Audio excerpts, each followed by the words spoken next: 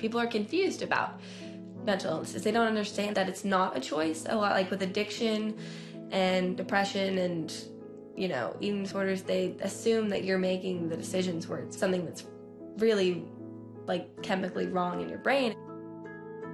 Throughout eighth grade, you know, it's puberty, your body's changing, but my body was also changing because I wasn't as in a good a shape as I used to be, and I didn't really like the way that I looked. I was never the healthiest eater, even when I did gymnastics. I ate a lot of junk food, and I was fine with that.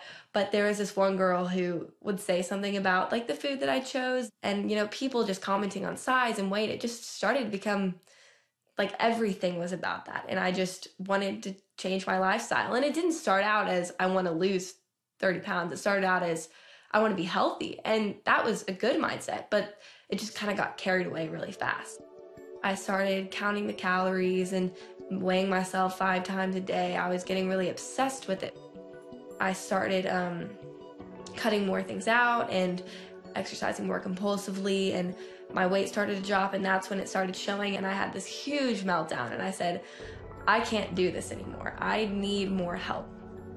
I went to the hospital in December of 2016 and I went to treatment from March into June in 2017.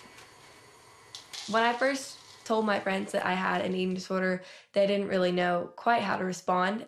It was really difficult telling them that I was needing more help. I felt kind of, I don't know, I felt kind of weak, I guess. I don't know, but the love and support that I received from my friends was crazy. But I also met a lot of new people in treatment that I got to be really close with. I can help other people learn what they can do to help people who have mental illnesses. As in, like, one person actually came to me with concern about their friend having an eating disorder as well, and it felt so nice to be able to give them some of the information that I learned from my experience. It's just such a simple thing to do, is just talk about like what you're going through, and I think if it affects a lot of people, then it's not as weird. You're not isolated, you're not alone. So I think if more people come out and say what their struggles are, then more people will be accepting to it.